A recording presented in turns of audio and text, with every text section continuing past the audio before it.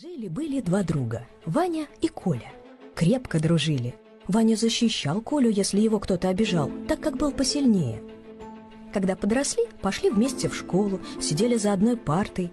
Но вдруг Коля решил перейти в другой класс и попросил теперь называть его Миколой. Ваня спокойно к этому отнесся. Это же не помешает нам и дальше дружить. Появились у Миколы новые знакомые.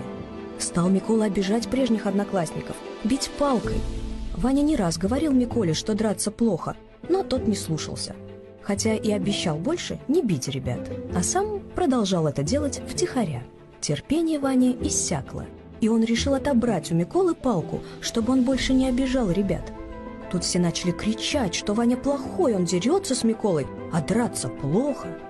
«Я же не бью Миколу, а просто отобрал у него палку, чтобы он не обижал ребят», — объясняет Ваня.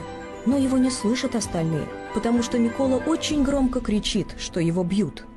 «А, кстати, почему же вы молчали, когда Микола обижал ребят?» – спрашивает Ваня.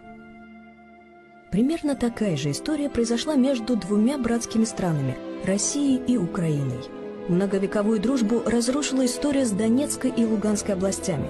Украина начала притеснять русское население – Поэтому эти две области захотели отделиться и перейти к России. Украина не согласилась и стала воевать с этими территориями. Россия пыталась остановить убийство людей и решить вопрос мирно. Украина обещала не бомбить больше Донецкую и Луганскую республики, но продолжала это делать. Ни на какие призывы соблюдать мир Украина не реагировала, после чего Россия решила отобрать у Украины оружие. Некоторые страны начали обвинять Россию в том, что она развязала войну. Я же просто уничтожаю оружие Украины, чтобы его не использовали против Донецка и Луганска, отвечает Россия. Но ее не слышит Запад, потому что Украина всем говорит, что Россия хочет погубить людей. А кстати, почему вы молчали, когда Украина 8 лет бомбила Донецкую и Луганскую республики?